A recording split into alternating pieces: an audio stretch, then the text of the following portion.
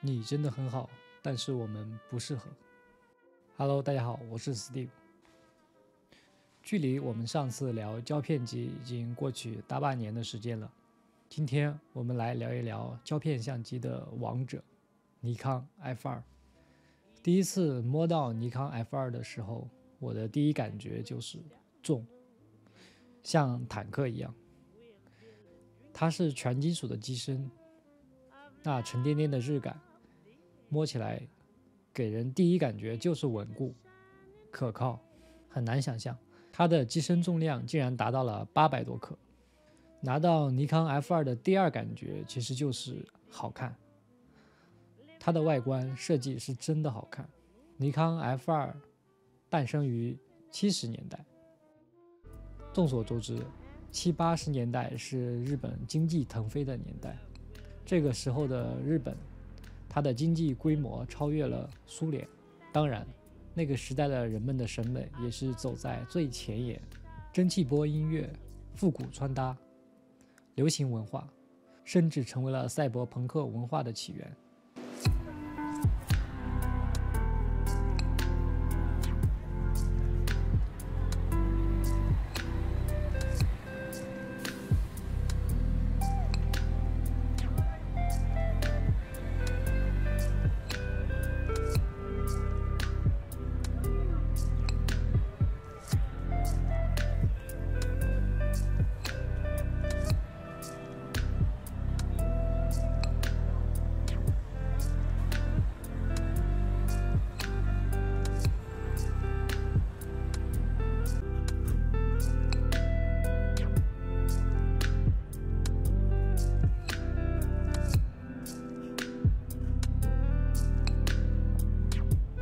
这个年代的相机总有一种未来之美，以至于半个世纪的尼康还推出了复古的微单，比如说尼康 ZF-C。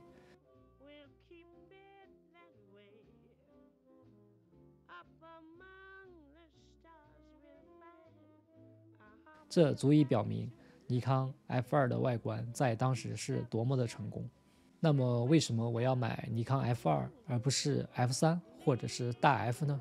一个很简单的原因，就是因为尼康 F2 是纯机械，它不像 F3 拥有电子快门，它可以完整的不用电就可以完成照片的拍摄。机械的东西永远是理工男的最爱，如同小孩子对于挖掘机的痴迷。很难想象，在半个世纪前，只需要机械的设计，再加上化学显影，就可以将那个年代的画面保存。F2 将拍照分解成了搬动过片扳手、调节光圈、快门，然后对焦，每一步动作都需要拍摄者的参与，这也构成了我的快乐。当然，大 F 也有这种快乐，但是作为一代产品而言，首代的产品永远都是充满问题。等到首代产品推出之后，随着人们的反馈和用户的使用体验，往往推出的第二代产品才是真正意义上的伟大的产品。所以我选择了尼康 F2。作为一个相机而言，最重要的就是拍照。我已经使用了这台尼康 F2 几个月，接下来就让大家跟着我的镜头一起去体验穿越了半个世纪的机械的浪漫之美。那些夏天，就像青春一样回不来。代替梦想的，也只能是勉为其难。我知道，吹过的牛逼也会随青春一笑了之。让我困在城市里，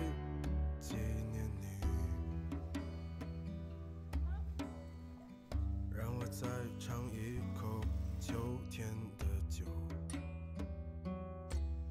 一直往南方开，不会太久。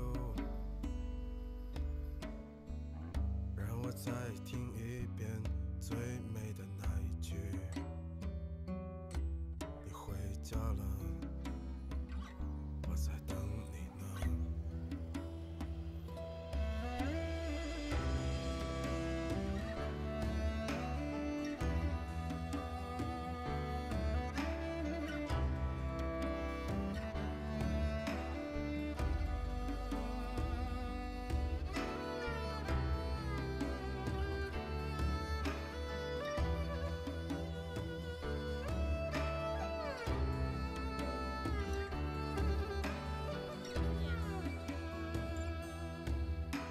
我知道那些夏天，就像青春一样回不来，代替梦想的，也只能是勉为其难。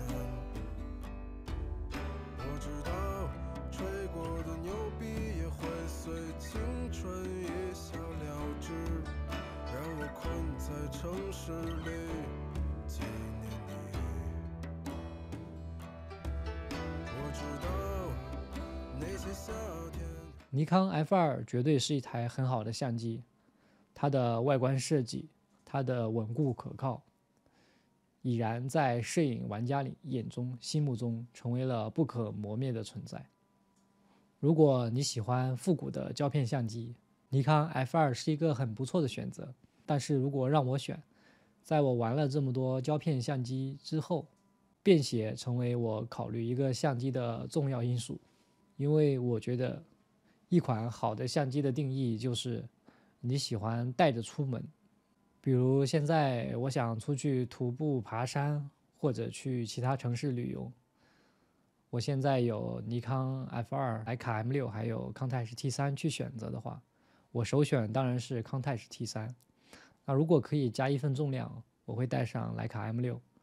我这里不是说尼康 F 二有多么不好，实际上尼康 F 二真的是一台。传奇的相机，但只是无法满足我的需要。至于屏幕前的你们，适不适合呢？